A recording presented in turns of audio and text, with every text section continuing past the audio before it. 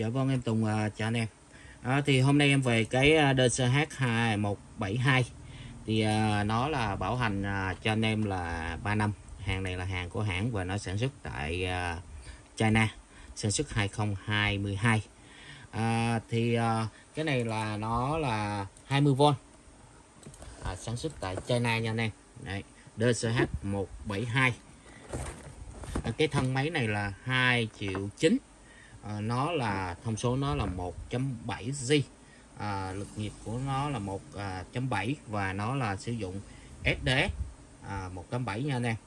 Rồi nếu mà một máy một pin một sạc à, thì à, nó là 4 triệu 7 máy pin sạc 4 triệu 7 còn à, thân máy thì 2 triệu 9 Ok nó có phiếu bảo hành.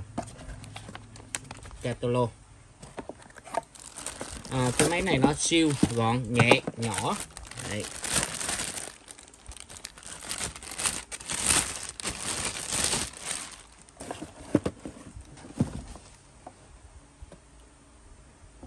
rồi à, bảo hành à, điện tử. Tốc độ của nó là từ 0 đến à, 1060 vòng trên phút. 20V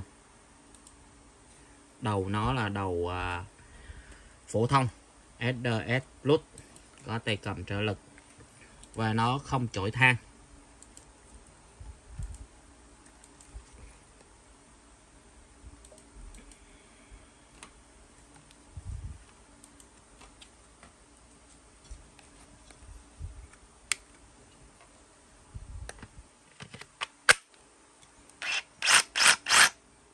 À, hai chức năng một là khoan hai là khoan độc.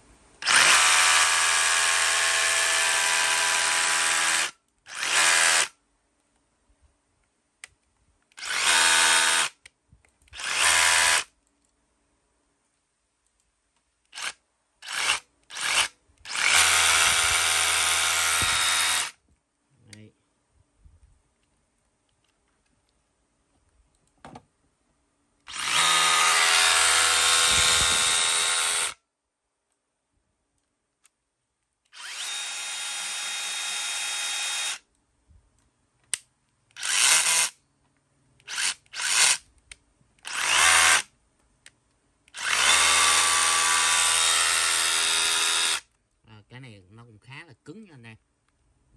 Cứng phải chuyển mạnh qua nó mới qua được. Đây. Cái à, hàng đây